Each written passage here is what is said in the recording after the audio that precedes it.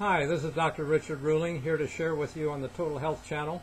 Thank you for being with us from day to day again, and let's ask God's blessing on our time together. Heavenly Father, need your help. Ask for your Holy Spirit. Help us to see things as you do, and thank you for your word of truth to us. Please uh, do exceeding abundantly for it in Christ's name, for his sake. Hallelujah. Well, we're going to look at the three messages that are historic to Adventism from 1843 and 44, and they are not what most people think, because in 1843 and 44 they had not seen the light of the Sabbath, and the third angel's message was not uh, a part of that uh, packet when Christ said, You must prophesy again. It was about the first and second angel's message.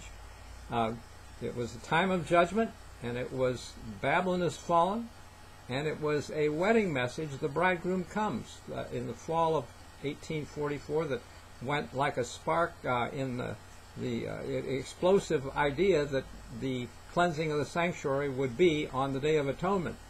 And so that message got around the world in two short months, even without uh, telephones, faxes, emails, airplanes, cars, etc. It was they they did everything they could to help the world be ready.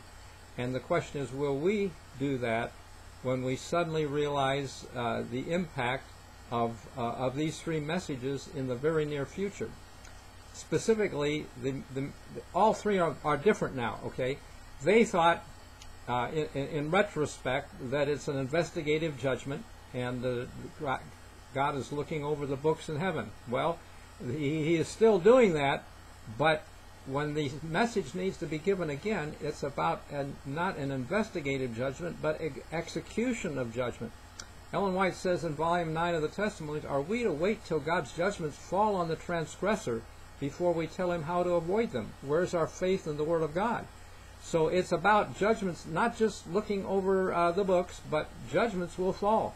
Life and death issues, as in the book of Daniel first six chapters in the book of Daniel are uh, could have been death for Daniel or his friends if if it had been wrong, but God spared them, gave them favor in, uh, to the uh, the king, etc. And so the judgment, though, for us will be life and death issues, and not just investigation. So we need to make that clear to people that uh, death, life hangs in the balances of what's coming in the next seven years. I think and people will run either toward God or away from Him. We'll talk more about this tomorrow on the judgment part of it. I just want to give the broad overview today, and that is that the, the second message, they said Babylon is fallen. And they were really referring to the uh, fallen. I'm going to read it from uh, Four Spirit, Spirit, Spiritual Gifts, which is also in the original Great Controversy from 1884. And it's, it's uh, on the second angel's message chapter title. The term Babylon, derived from Babel and signifying confusion, is applied in Scripture to the various forms of false or apostate worship, religion.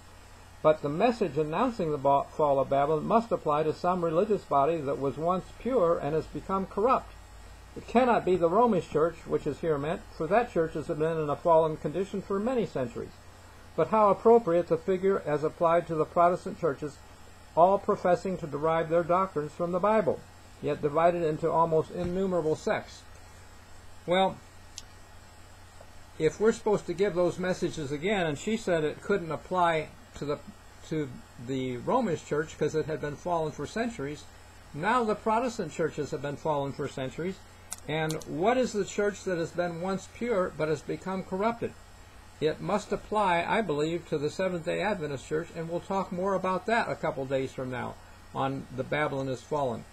But um, we know we shouldn't call the church Babylon, but it depends which church we're talking about. If we're talking about her definition of the church in the end, uh, a covenant keeping people, no, that won't fall. But the GC church, uh, we'll talk about it again a couple days from now.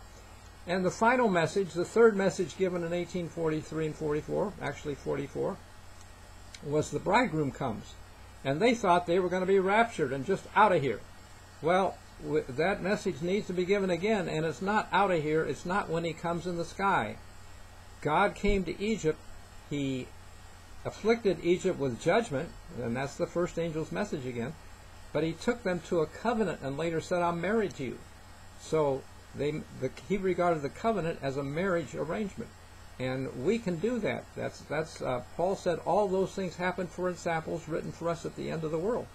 So, uh, I think we, we, in order to be the movement of destiny in Revelation 10 that we started out to be, those who will give these messages and proclaim them will be the movement of destiny, and those who don't change their focus from third angel, third angel, third angel, and by the way, they're only making the beast angry at this point.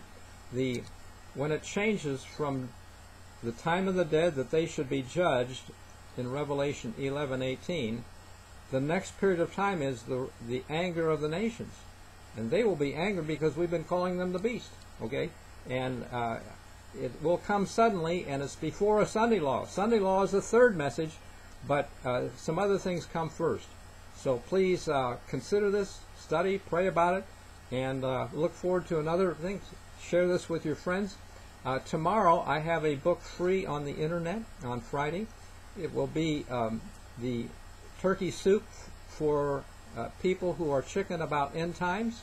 And you can go to Amazon, type in my name, Richard Ruhling, and get a free, uh, also an app that will download it so you can either read it on your Kindle or your computer, phone, whatever. And so uh, get a copy. Uh, it has a lot of truth in it. And uh, God bless you. See you tomorrow.